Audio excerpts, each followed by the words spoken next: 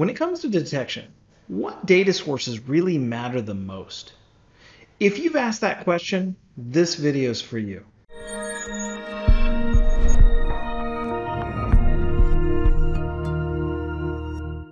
So based on where we're at today in 2021, we have tools like say MITRE ATT&CK Enterprise, Navigator, and there's another tool that's maybe not as commonly known called MITRE DeTTECT. Now, MITRE DeTTECT is not officially a MITRE sponsored tool, but it is extremely helpful.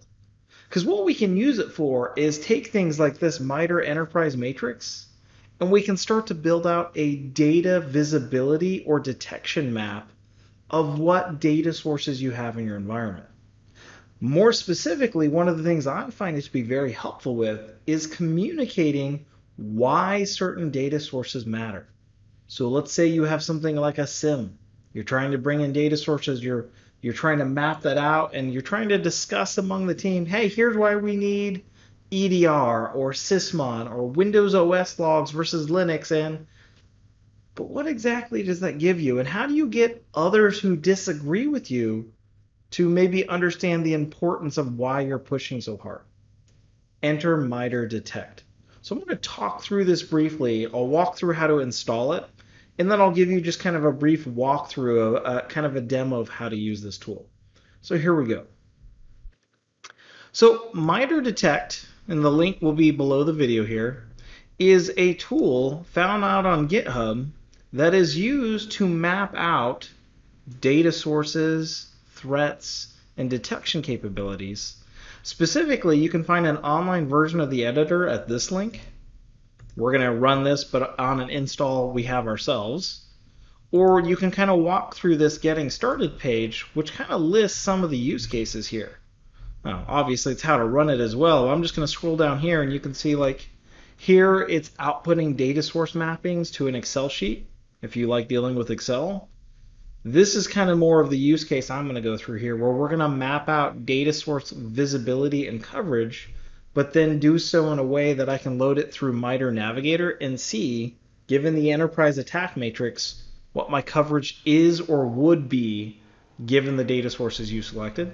Very powerful. And then one thing kind of cool down at the bottom I'm going to show is right here. I can also run it to output all the data source mappings or the data sources there are mappings for within the tool by how often they show up on the MITRE ATT&CK matrix. So you can see here process monitoring at 290 count has the highest occurrence. So this is, if you think about it, it's almost like saying what data source would give me the most coverage according to the MITRE ATT&CK enterprise? And based on this, it would be process monitoring. And from my experience, there's a lot of things you can catch with process monitoring. It doesn't mean, though, if I look at the reverse of this, that things like name pipes aren't important because they only occur once.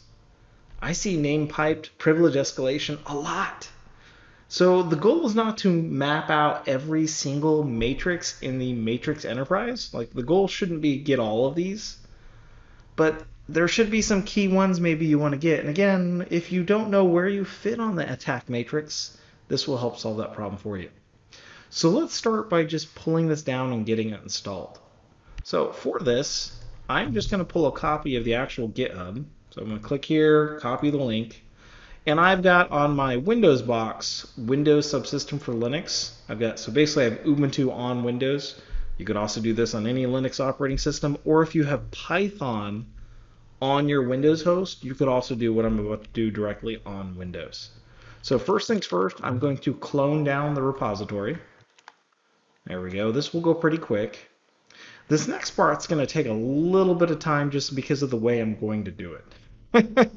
it's, it's just based on my preference. So what we're going to do once this is done is we're going to cd into the folder and I'm going to have to install the Python requirements. There's multiple ways of doing this. So they have a requirements.txt file. So technically you could do pip install or you could do apt-get or yum install and install these Python modules. I tend to use Python a decent amount, so I don't want to do that. I'm going to do this instead, and I'll talk through this. I'm doing pip environment install, which what this is doing is it's creating a folder in my operating system that will have a custom Python environment installed with the modules necessary for what's in this folder. So it allows me to have various Python projects where if they have different dependencies or versions of modules, I don't have co- conflicts. So again, you could have done a, a, pip install each of these like attack CTI, simple JSON, plotly, pandas. Uh, you could just apt or yum install them directly into your operating system. Uh, I, I tend to like to do pip environments, although you can clearly tell it takes a little bit longer because it's basically getting a copy of Python plus then installing the modules. So this will take just a second. And then once it's installed, I'm going to run the web editor where we can manually map out our data sources. And then we'll do things like convert the output of that, which is a YAML file, to JSON so that we can use it in MITRE Navigator. So hold on a sec, we'll give this just a second to complete.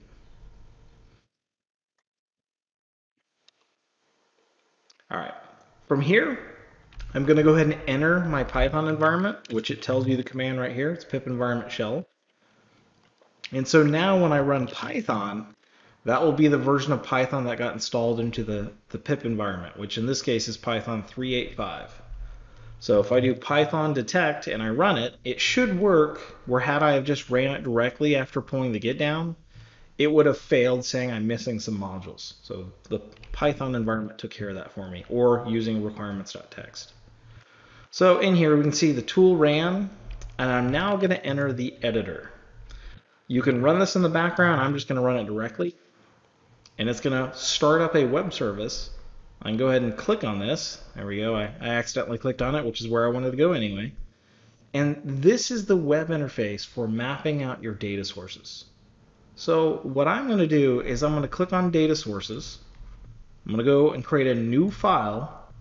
And what we're going to do is we're just going to act like a mock organization and build out some data sources we think we're collecting currently. So I'm going to click add data source. And you might not have the full list, which again, though, this is this command. Uh, I'm going to open, oh, I actually got to stop this for a second because I didn't run it in the background. And if I run this command, this is that one that I showed in the getting starting page that will list out all the data sources according to how many times they show up in MITRE ATT&CK. And so if you don't know the full list, this will give you the full list anyway, but you don't technically have to do that. What you could do, and I've got, looks like it's still running in the background, which is fine. Make sure this is up and running. Nope. Let's try that again. There we go. All right, see, refresh, go back to data sources. What you can do if you don't want to have that output already, you can go to add data sources and you can just type something. As soon as I type W, I'm doing Windows. I can see like the default Windows event logs. Oh, okay, yeah, we probably collect this. All right, you can put the date that you started to receive that. This is just more for your record keeping anyway. Go ahead and select. And then the bigger question is, are you using it within a tool for analytics like a SIEM? For me, I only really map these out if I'm already doing that or I'm trying to do a possible, how much would this change my visibility if I added this? So I'm going to go ahead and say yes and yes. Where am I getting Windows event logs? What product? Well, I'm collecting it just natively with Windows. So I'm gonna, this is just whatever tool name you want to give it. I'll add that. Let's add another one. I'm going to say we're doing uh, process monitoring. Notice process monitoring is not the same thing as process command line. So if I was doing sysmon or EDR, I would add both. If I was using the built-in Windows process monitoring, but I forgot to enable the group policy for command line, I would just do process monitoring. So you got to map out what you actually have. I'll say process monitoring. Again, I'm going to select the same dates. Oh, there we go. Yes, yes. I'll say I'm getting this from Sysmon as an example. And by the way, I'm skipping this section down here. This is a qualitative assessment on how well you handle that data source. Uh, again, more for your record keeping, so I'm just ignoring that for right now. In production, I think it's helpful and I would recommend it, but not one of the points I'm trying to cover in this video. So we'll add sysmon. We also have process command line, uh, same dates. Yes, yes. That was also from Sysmon. Technically, if you had Sysmon plus an EDR, I could put something like this game from CrowdStrike. Doesn't really change the context of what I'm demoing here, so I'll add that in. And you would keep going and you would add things like Amazon AWS or uh, Linux systems, DNS, network infrastructure. They're in here. You can map them and add them. But once you have your data sources added, and initially this will be a little time consuming, you're going to save the results. Saving the results to the YAML file lets you go back and edit it without having to redo all the work. But it's also, I need this YAML file so I can convert it to a Navigator JSON file. So next what I'm going to do is I'm going to go ahead and stop the web service because I'm not adding any more to this. And I'm going to run this command right here. Because what happened is in my downloads folder, it created data sources new.yaml, which is right here. And so I'm running detect, and I'm saying load up that data sources, but convert it into a MITRE Navigator JSON file. Go ahead and run that. Now notice it did say there's some warnings. If you added dash health, it would tell you what they are. And all it's saying is I have some data sources I didn't say anything about. It's fine. Don't worry about it. And so from here, I'm going to flip over to MITRE ATT&CK Navigator, and link will be in the, the video. And I'm going to open an existing layer that I have on my local machine. So on my machine, since I'm using WSL, it drops me into my home folder under detect because I git clone detect, and then the output file, the folder is normally empty. But what I just did the conversion, it saved it as an output. So I'm going to go ahead and load this up. And now all of a sudden, here it goes. This is my MITRE ATT&CK enterprise mapping based on those three data sources I just added. Now wait, that looks that actually looks pretty good. It looks like we're doing fairly well. Well, let's let's just run through one more scenario here. Let me launch the editor again. Again, if you don't want to have to control C out of this, you could have put the ampersand behind it. Uh, I'm just not doing that right now. I'm to go to data sources, new. This time I'm going to add Windows again, the event logs. So like what's built in. Select today's date. Yes, yes. We'll just call it native Windows. But I'm not going to do process command line monitoring. Let's assume you have the built-in Windows application system and security but you're currently not doing like EDR log collection or Sysmon. Well, let's be clear, maybe you have EDR, but you're not bringing the data in to do additional checking. So all your SIEM's probably actually getting is alerts from your EDR. That means you don't have process monitoring and command line logs for analytics. You're trusting the vendor and your EDR solution to do it. It's not exactly the same thing. So my argument to the team might be, okay, we have application, we have system, we have security but we probably need PowerShell. We really need process command line, especially for like case and investigations. But to help justify that argument, watch what happens here. I'm going to go ahead and save this as if I just have the default logging. You probably would add like authentication logs and a few other things in here. Like I can add authentication. Let me change this just a little bit. I don't want to make it look like I'm cheating too much here. Windows, so we have authentication and we have Windows standard event logs pretty common for my clients. Save. This is data source 2. So now I can stop this. I'm going to convert data source new, but it's going to be 2. And yeah, I'm going to have to fight the 2. There we go. A little weird syntax because of the space, but there we go. I'll go ahead and let it run health. It won't change anything here. You notice here, all it's saying is, hey, you didn't, you don't have these data sources. That's fine. But now when I go back to Navigator, I'm going to add a new tab, open existing. Here we go. This is my second example, what I just built. Hmm. Look at the coverage difference. And if I want to, you can actually compare these. Select annotated, give them a score value of 1, This is just a simple check that I usually do. Select annotated again. Set a scoring value of come on, one. There we go.